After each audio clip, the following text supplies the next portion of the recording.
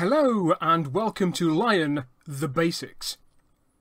Lion is perhaps one of the most iconic and beloved locomotives in preservation, thanks to her starring role in the 1953 Ealing comedy The Titfield Thunderbolt, the story of a plucky band of villagers who save their local branch line by running it themselves, antique locomotive included. This story is of course well known, but what of the engine herself before preservation? Lion and her six sisters were ordered by the Liverpool and Manchester Railway in October 1837. Faced with a fleet of increasingly worn out and old fashioned locomotives and a predicted increase in traffic, Henry Booth, the railway's secretary, treasurer, and general manager, was requested to carry out a survey of existing locomotives and to place an order for 10 new ones.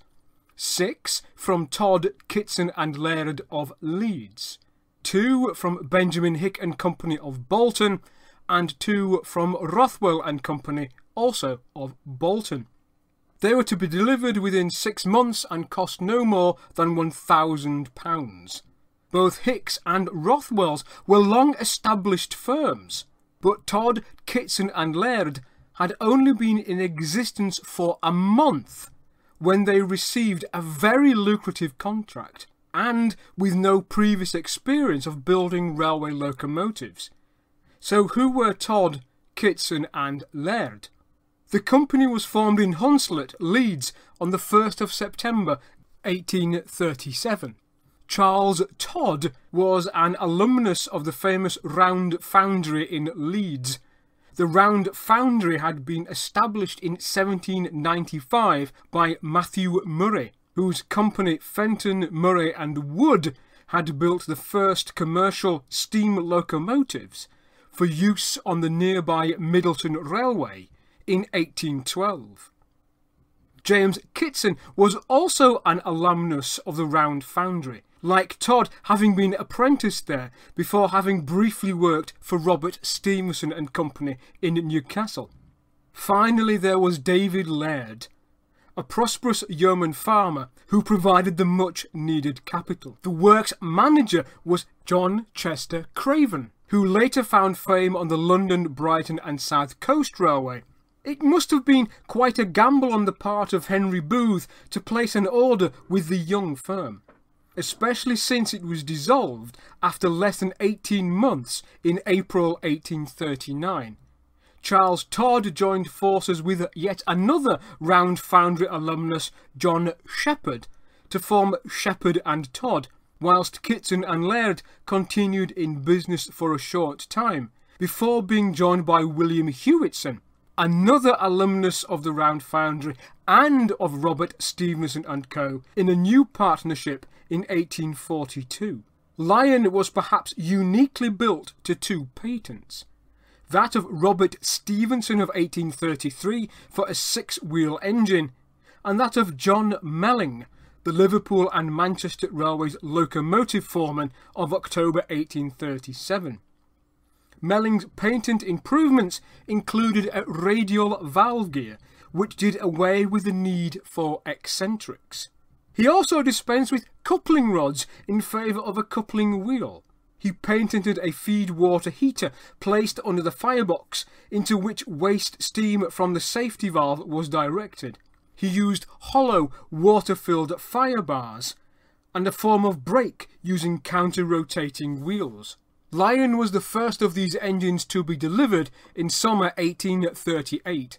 So impressed was Edward Woods the chief engineer of the Liverpool and Manchester Railway, with the quality of workmanship displayed by Lion and her sister Tiger, that the two became the pattern and the standard for other locomotives.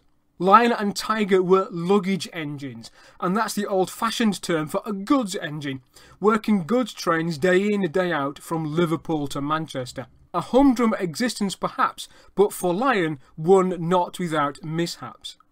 Lion's driver was a Leeds lad called Joseph Greenall, and he had come over from Leeds to erect her in Manchester and remained as her driver. In November, Joseph was driving Lion banking a heavy goods train hauled by Fury, the train engine, and Patentee, the pilot engine. When toiling up the Whiston incline, Patentee's boiler exploded, killing both of her crew. And Greenall was considered partially to blame for this disaster because, contrary to standing orders, he had persuaded the crews of Fury and Patentee not to divide the train as it ascended the Whiston incline, and instead, so proud was he of his new engine, he thought they could take the load up in one go. In the following year, Lion suffered from an axle failure, causing her to derail. Lion ran in her original form for only a few short years. John Melling was dismissed as locomotive foreman in 1840 and replaced by John Dewrance as locomotive superintendent.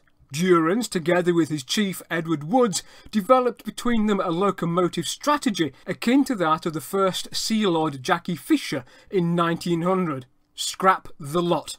Where a locomotive could not be rebuilt into a more modern efficient form, and the Melling patent locomotives were indeed a peculiar lot, they were to be scrapped. Lion luckily was amongst those rebuilt, but the rebuild actually cost more than building a new locomotive. It is likely that the rebuild of Lion in April 1841 was so complete as to leave nothing left of the original engine perhaps other than her name, her number, and the wheels. The new Lion now had conventional gab valve gear with which she is still fitted, and a conventional boiler. Her first boiler had been oval in cross section. Lion continued to work for the Liverpool and Manchester Railway and its successors, pulling goods trains until 1857. In that year, she was renumbered as ballast engine number 14 to work permanent way trains.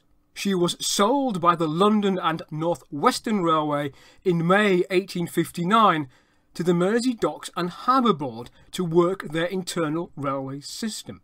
The story often told is that she was sold to work a pump at the Prince's Dock, but this is not true. Lion had indeed been purchased in May 1859, but the dry dock facility at Prince's Dock did not come into use until the end of January 1875, and it was during ownership by the Mersey Docks and Harbour Board that Lion was reboilered in 1865, and it is probably this boiler which is retained to this day. From 1875 to 1923, Lion was to be found working the pumps at Prince's Dry Dock facility. But we don't know that the old locomotive found in 1923 and restored at Crewe is the same locomotive purchased by the Docks and Harbour Board in 1859. The paper trail simply ends in 1859. There is no paperwork to suggest whether it was Lion or any of the other locomotives owned by the Harbour Board, or perhaps another old relic acquired second hand which was used to drive the pumps. Certainly Lion as she exists today does not correspond with any of the known dimensions of Lion in service on the Liverpool and Manchester Railway, other than the wheel size and boiler pressure. The present boiler barrel is 8 feet 6 inches long, whilst the known historical dimensions for Lion's boiler is that of 7 feet 4 inches. That's quite a difference in length. There was no nameplate or maker's plate on the engine when it was found in 1923. Those currently on the engine are 20th century mock-ups. Lion was rescued and restored at Crewe between 1929 and 1930 thanks to the efforts of the old locomotive committee. They had persuaded the harbour board to part with the locomotive and to convince Sir Henry Fowler of the LMS to restore the engine almost gratis. A new tender was built at Crewe using parts from at least three Furness Railway tenders. The chimney, smokebox doors, boiler cladding, splashers, springs, cab rails, coupling rods and cranks were all new in 1930.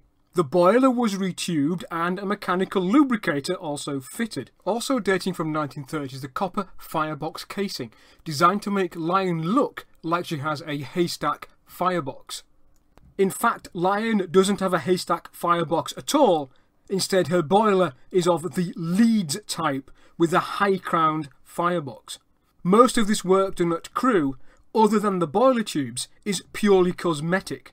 The wood and iron sandwich frames, the cylinders, gab valve gear, wheels and axles, and of course the boiler all date from before 1875. The boiler probably dates from 1865, the frame, wheels, valve gear, cylinders from the 1840s. So whilst very little of Lion actually dates from 1838, the majority of the locomotive is still a valuable piece of historic machinery dating from the first half of the 19th century. So those are the basics on Lion, a story perhaps not as well known as we think it is. Please like and subscribe and comment below. If you would like to find out more about Lion, check out my forthcoming book, Lion, The Story of the Real Titfield Thunderbolt by Amberley Publishing, coming in November.